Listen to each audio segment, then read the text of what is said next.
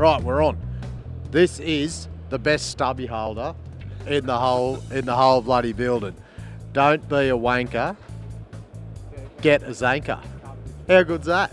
Mate, we've got bloody Shane Flip O'Driscoll here, mate. How are you, Colin? Nice to finally meet you in, in the flesh and bone yourself. No worries. Thanks very much for, for coming over and seeing us. Oh, All the, everyone pops over. Like, there's, there's that many bloody tents, you miss half the people. So yeah, no, mate, we've come over to have a good yarn about some, uh, you say, Prac- practical solutions to problems in the underground mining industry. Is that that best explain it, mate? Oh, I reckon so. But there's a bit of a story to stubby holder, if you wouldn't mind me telling you. Mate, go ahead. Uh, we were, we're sitting there having a few beers with a couple of mates, a mate and the wife, and I'm talking about, you know, why aren't these people buying it? What a bunch of wankers. And and you know, he says, why don't you put that on there? He says, oh, you can't do that. But the wife, she's pretty sharp. She says, just substitute the W for the Z. Innova- innovation of the spelling of wanker. I love it. Mate, flip, righto. We've got, we've got all the bloody gear. We've got all the gear and all the idea here. These are, uh, so I looked at this and like, first thing I thought, what the fuck is this? Please explain what I'm holding here. Besides just a big piece of bloody metal. What do we got, bruz? Well, this is to um, try and get away from the pinch point things. You always hear about the issues of that. So I've um, come up with this for um, when you're lifting pumps. So you put the chain through here, and when you go and put it onto something, you put that on there so your hand isn't being put in between the chain and the part you're lifting. And Invariably, someone's going to get their fingers caught. So I've tried to uh, engineer that out, and this is what I came up with. The pump Yeah.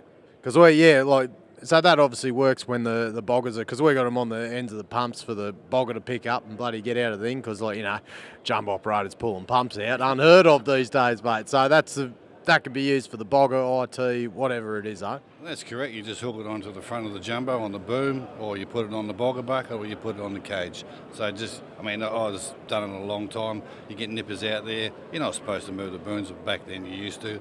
And you go and pick the pump up, and they put hold their put their fingers back to try and grab it, and you go, oh, don't do that. So this sort of eliminates anything that can go wrong in that area. So yeah, look after the guys. This should come just factory built with the bloody pumps out of the factory attached to it, mate. That's the bloody. That, that's what we're going to get out of this, right? Item number two. Now this is, I assume, a bit of a miniature version. I, I've seen these in action. Service hanger, eh? Yeah, this is for the 63, 63 model. So Oh, we- so that, this is the actual size for a 63 mil. Yeah, well, it- it's, it looks small, but because so is 63. So you just put a safety clip in that, and it locks it off. So it takes away a lot of the, the things we use, chain and bloody cable hangers and all sorts of stuff. The idea about it all I try and do is standardise. Try and get away from using all the bits and pieces that we jam down the hole, just to go and start doing it properly.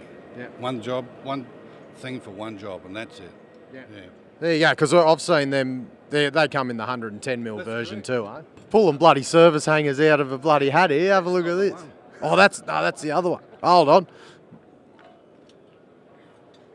Here we go. God, a bloody turning water into wine here, mate. So all it is is the basic service hanger with a cantilever um, locking device on it. So you drop your, your pipe in there, comes through, you just put a safety clip in there to hold it. No D-shackles, no nothing. no, no tie wire or anything to tie it down like some people do, eh? Yeah, get away from using all the rubbish that goes on. Like most people chain it up now, but it all just pops out in there because the chain doesn't really lock to a service hanger. So I've just come up with this to, to lock it into place. So it's a standard, easy one that everyone can use. You don't have to be over-educated. You don't have to put lots of training into it.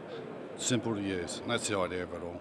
I have I've found with service hangers something I found out early on. Uh, they, they work better this way. I bolted a couple couple to the wall that way. It didn't work too well. So right there we go. I'll tell you what, we've got some steel floating about here.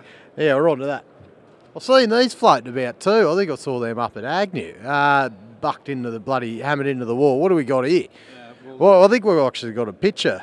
So this is the 39 mil. This goes into a rock bolt. So I've made these things uh, to to suit this uh, mining that we use because we use stubbies and we use split sets. So this is the 39. The other one here, a 47 mil anchor. So you would drive that into a 43 mil hole. Just uh, imagine that it's the rock bolt and the stubby bolt. So we'd use these in the same way you would use those ones. So by driving that into the wall, that holds on to the, the Z pins that go on it. That's, and, the, and, for the uh, sign bars as well. So this is your, your main uh, stable platform that you use for all the rest of the products. So this completely uh, eliminates the hassle of uh, jumbo operators being allergic to drilling pinholes. Because as long as you've got the bolts there at the bottom, you're all good, eh? Well, that's true, but you, don't always have ground support that low, so you still have to. Um, I'm, I'm afraid you still have to drill pinholes because you still have to hang signs. So yeah. So this um, device we've got here, that is essentially used in conjunction with that to replace L pins, L pins and pinholes. Is that right? And the wedges and everything. That's exactly right, mate. Because if you get away from uh, L pins and wooden wedges that come loose all the time, these things uh, fit in just like a split set, hold really tight. So you just slide that in the bottom. So if the bogger hits it, she just swings out the road. Ah, yeah, no, nothing better than all the L pins bent over after the bogger goes and cleans them up in one bloody drive. This is like bloody bunny underground bunnings here. This is great. Is. This is the um, the sign bar. So you would you would hang your sign on that. So your signs would hang below this. You could put multiple signs as we've, we've just got back here, Mick. So when you uh, if a bogger hits it, they just swing to the wall. And again, it's just a, the idea is to keep all the signs off the ground. You know how many times you go to a drive, it's on a chain, signs covered in dirt, been blown up, destroyed. And you've got to hang that up. You get bollocks because it's crap poor old Nipper gets it as well. So, uh, well, I was just talking to someone recently up at Plutonic, and I set these up oh, about two years ago, and they're still using the same bars today. And I said, in the ore drives, because they're, they're, a little bit longer, I've cut these down because people are using smaller signs. But in the uh, in the main haulage areas, they're still using them like bogging in progress, still using them today. I, I didn't think they'd last that long, but they, they do. What are, what's this made out of? Because they look bloody durable. What's the guy? Oh, it's just uh, 40, uh, 24 mil round bar. It's made with uh, 345 MPa steel. So all that I make is it's it's it's made to last. It's, it's not made to be destroyed, and you keep buying and rebuying it. I mean, you don't make a lot of money out of it sometimes because it does last well, but we work with a lot of crap down there that doesn't last, and I'm trying to make things that do. So, as you know yourself, how many times you have to keep replacing things down there, it's time consuming for you and costly for them. So, you want to increase your productivity, get good gear. That's how I operate. Yeah. I bloody love it. Right, what else we got on the uh, on the Bunnings shop floor here? What... We've got the knocker line tensioner. So instead of using the good old stubby and the, the L pin to do them up, just shred the knocker line through here, tie it off at each end, obviously, and just wind it up with the podgy ratchet wrench. And you don't have to worry about this taking off on you because if it comes, if, if you let go of it, it's not going anywhere because the knocker line is stuck inside here. Good. Pretty much the same as like a boat winch if you think of that concept. And that's all I did was redesign the boat winch to, to do this and people use it. It goes great. Well, it takes a little bit to get used to, like everything new to you, but it's going to take away the danger of anything flying around and clocking in your head. And I think we've everyone all been exposed to that, and some have have been exposed more than others with broken jaws and things. So why not do something that's safe? I mean, bloody love it. Right, any more? Any more? God, you're bloody pulling shit out of your ass here. There's bloody, bloody. There's, I don't know. I can't guess what this is. Looks like something to castrate a bull, maybe. One bull.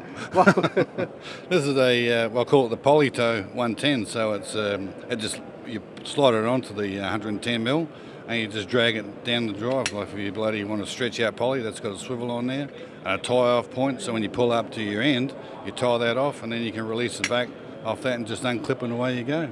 Tie it down the hole. No cutting holes in poly pipe. Just whack that puppy on there. Drag it.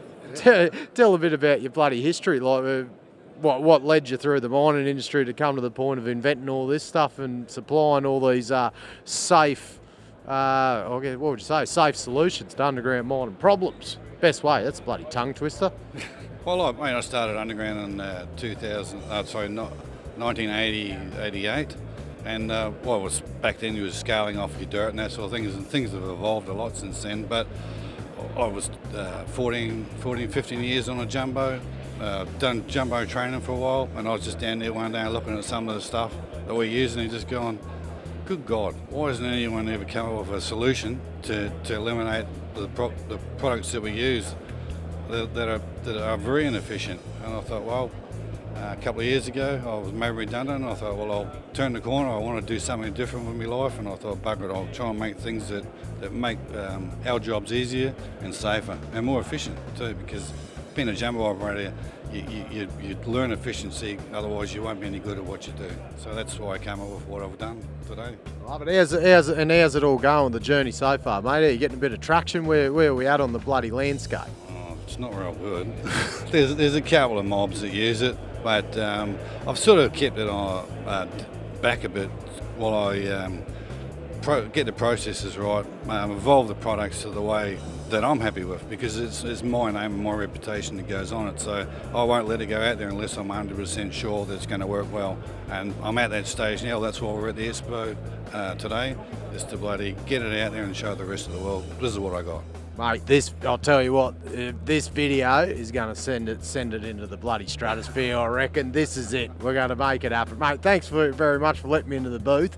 Uh, look, mate, it's all bloody exciting stuff because I've seen some of it. I just yeah, as I said, you obviously got the bloody put the heart and soul into it. Or just yeah, everyone pull the cobwebs out of your wallet. We're in a mining mood.